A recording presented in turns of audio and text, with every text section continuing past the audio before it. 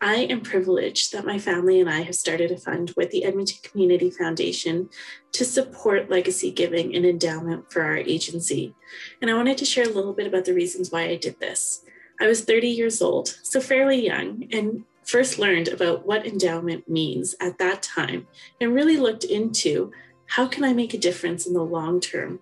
Of course, I donate to charities every year, the ones that have impacted me and my family and those around me. But I really wanted to think about how can I make a difference after I'm gone? And this was one way that was affordable, which a lot of people don't really understand. Um, they think you need to have millions of dollars to put in an endowment uh, to really make an impact. But really, the Edmonton Community Foundation has a system where you can spend up to 10 years raising the minimum $10,000. That's $100 a month for the next 10 years. And I understand not, not a lot of people are able to even afford that. But those who can, who are younger like me, it's an opportunity to, to put aside some money, knowing that in 50, 60, 70, 80 years when you're gone, that money will still be there to support children and youth forever why I donated um, and why I started an endowment fund. Well, I was a little sister growing up in this agency, and it's made an impact of, in my life. I lived in poverty growing up. I wasn't born in poverty. I was born to a loving, middle class, two parent family with a younger sister and a grandmother who helped take care of us.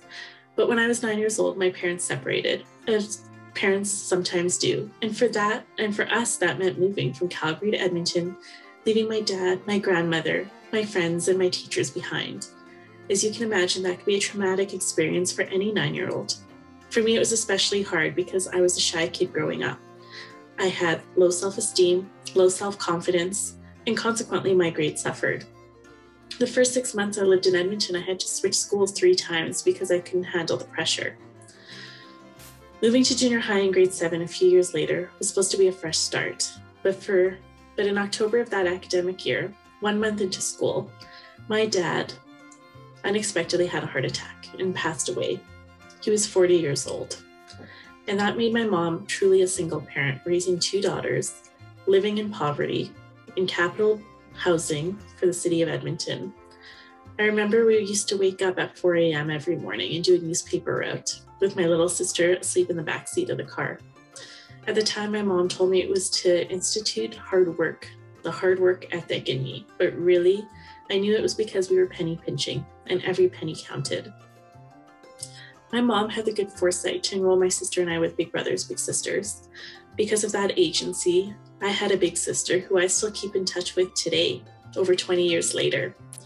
She made me believe, as a stranger, someone who wasn't related to me, that I mattered that totally instilled self confidence in me, self esteem. Having someone believe in your success, believe in you, and they didn't have to. And they took their time out of their own lives to do that. That's what really inspired me to be the person that I am today. And not only that, the agency not only gave me a wonderful big sister, but gave me opportunities I wouldn't have otherwise received. Like I got a full scholarship through the agency for my undergraduate degree in criminology and I had opportunities to work at different nonprofits in this in the sector. And, and the reason I am where I am today, full circle, back at the agency where I grew up, is because I want to help the thousands of children the way I was helped, the way my sister was helped. And one way that anybody can do that, if you have the means and the opportunity, is to start an endowment fund and be part of Children's Circle because it's not just a legacy you will leave, it's forever. When you're gone, there will be the next generation of children and young people who will look back at you and your family and the way that you gave and say, the way I'm saying today, that you inspired them to be the best that they can be. Thank you.